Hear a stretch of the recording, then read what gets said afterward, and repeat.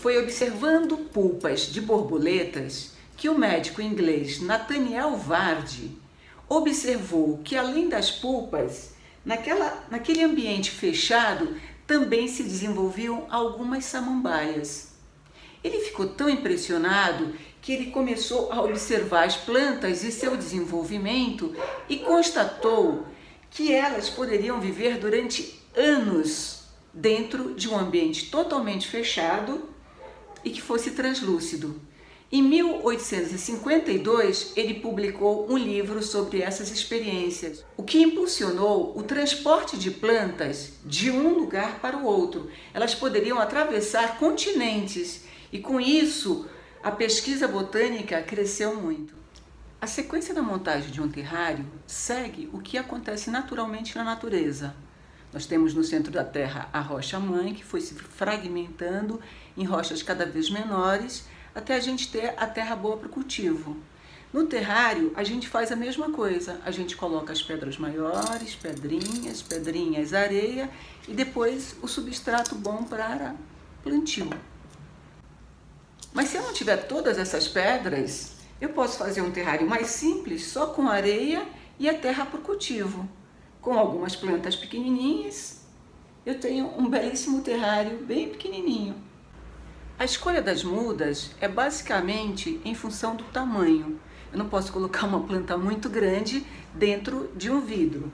E eu posso fazer um terrário num vidro grande como esse, ou até maior, ou num vidrinho como esse. Aqui, ó, nós temos um terrário num vidro bem pequenininho. Uma coisa muito importante são as necessidades da planta, especialmente quanto à luz e água. Nesse terrário aqui, por exemplo, são plantas mais tropicais, plantas mais de mata.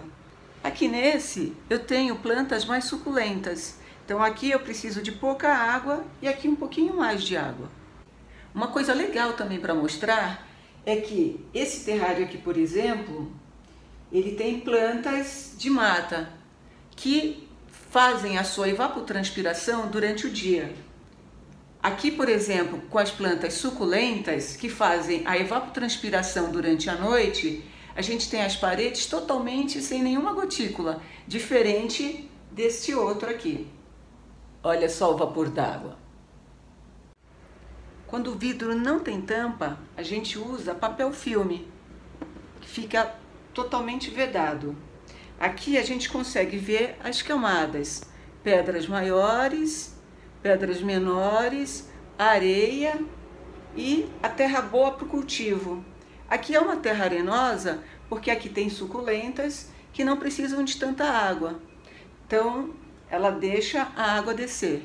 Além de ser um objeto incrível e muito bonito para usar como decoração, lembrando sempre que tem que deixar perto de uma fonte de luz, porque aqui dentro tem seres vivos, plantas que fazem fotossíntese e precisam de energia solar para completar o seu ciclo, né, para fazer a nossa fotossíntese.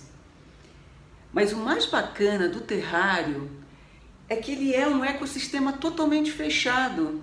Para mostrar para criança, criança pequena e criança grande, né, é muito bacana, porque a gente vê o ciclo completo da água.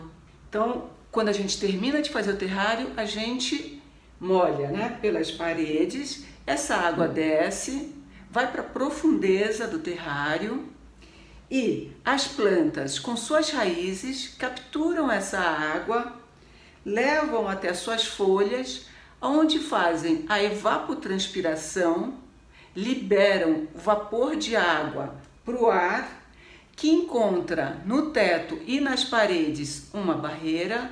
Lá ela condensa e volta novamente para a terra e vai lá para o fundo. E novamente as plantas pegam essa água e voltam, e assim fica o ciclo completo da água. Com isso, a gente pode constatar a importância das plantas para pegar a água das profundezas e liberar em forma de vapor para fazer chuva, para voltar para a terra e para continuar a vida.